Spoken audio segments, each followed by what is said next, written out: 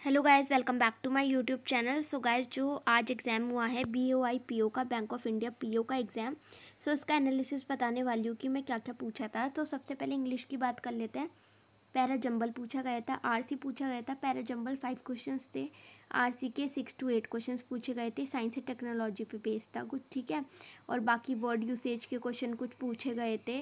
सो अगर बात करें इंग्लिश का जो लेवल था वो ईजी पूछा गया था। अगर बात करें क्वांट की सो क्वांट मॉडरेट पूछा गया था और रीजनिंग भी जो थी वो भी मॉडरेट पूछी गई थी। और जीए की बात करते हैं तो मोस्टली जो थे वो जैन के थे, है ना? जैन के क्वेश्चंस पूछे गए थे जनवरी के। बाकी एट्टी परसेंट जो क्वेश्चंस थे वो बैंकिंग अवेयरनेस के ऊपर थे और कोई गैसेस से रिलेटेड भी था, ठीक है? और बाकी लोगों के अटैम्प्ट जो है रीजनिंग में लोगों ने थर्टी फोर थर्टीज़ में अटैम्प्ट किया है। क्वांट में थोड़े कम हो गए क्योंकि कैलकुलेटिव ज़्यादा थी। तो इसलिए वो मॉडरेट साइड पर थी। बाकी जीए जो थी जे काफ़ी लोगों ने टफ़ बताई है, लेकिन अगर बात करें तो ठीक है? और बाकी जो पूछा गया था, यही था क्वेश्चंस, लोगों के अटैम्प्ट जो है, हंड्रेड प्लस अटैम्प्ट गए हैं।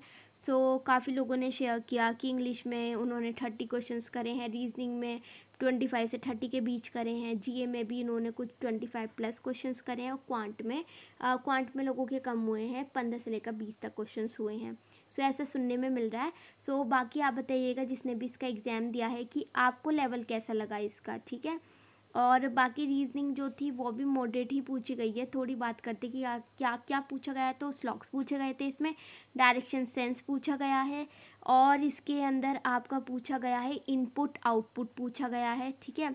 सो ये क्वेश्चंस पूछे गए हैं। अगर क्वांट की बात करें तो इसमें आपका अप्रॉक्सीमेशंस पूछा गया है पाई चार्ट के क्वेश्चंस पूछे गए हैं टेबल डीआई पूछी गई है, ठीक है? सो ये क्वेश्चंस कुछ पूछे गए हैं इसके अंदर क्वांट के अंदर, ठीक है? लाइन ग्राफ से रिलेटेड शायद क्वेश्चन तो बोट एंड स्ट्रीम से रिलेटेड पूछा गया अरिथमेटिक के क्वेश्चन पूछे गए हैं फाइव टू सिक्स सो ये कुछ क्वेश्चंस पूछे गए हैं सो आप मुझे कमेंट बॉक्स में बताइएगा कि आपका कितना अटैम्प्ट हुआ है इसके अंदर? और अगर जीए के क्वेश्चंस पता मतलब आपको याद है तो प्लीज़ शेयर कीजिएगा कमेंट बॉक्स में। बाकी मुझे मिलते हैं तो मैं वीडियो बना दूँगी, ठीक है? सो मिलते हैं नेक्स्ट वीडियो में। Till then take care bye bye